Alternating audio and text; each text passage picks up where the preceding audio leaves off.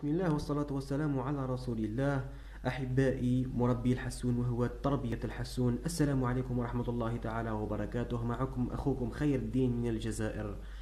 يعني أتيكم اليوم في موضوع يعني قد يكون مشكلة للبعض. يعني قد رأيت يعني بعض الناس الذين لديهم حساسين يعني لمدة ثلاثة سنوات أو أو سنتين أو رأيت حتى حساسين لمدة أربعة سنوات وهم يعني ليسوا آه، يعني ليسوا آه، مثبتين أو ليسوا هادئين في القفص ولا يزالوا يتخبطون كلما رأوا شخصا. وإليكم الحل يعني بالتجربة يعني بتجربتي ليس ليس أنا آه، يعني ليس أنا وحدي شخصيا بل تجربة الكثير والكثير والكثير. وقد ارتأيت إلى تجريب هذه الطريقة وكانت يعني طريقة جيدة جدا جدا جدا. تعتمد تعتمد هذه الطريقة يعني على هذه القفة. هي قفة يعني مادتها بين البلاستيك والحلفاء النباتية.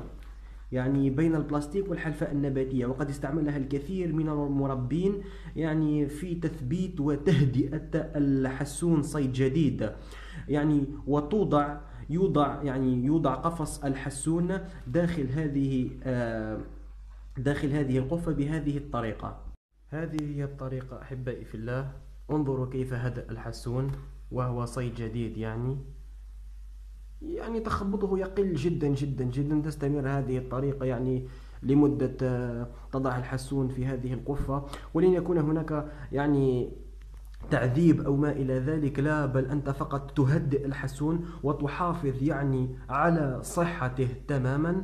هذه الطريقة يعني آه، استعملتها أنا شخصيا لمدة شهر يعني آه، يعني عشرين يوم إلى شهر يعني عشرين إلى ثلاثين يوم وكانت آه، والحمد لله الحل لتهدئة لتهدئة الحسون. أتمنى أني نفعتكم بهذه الطريقة والسلام عليكم ورحمة الله تعالى وبركاته.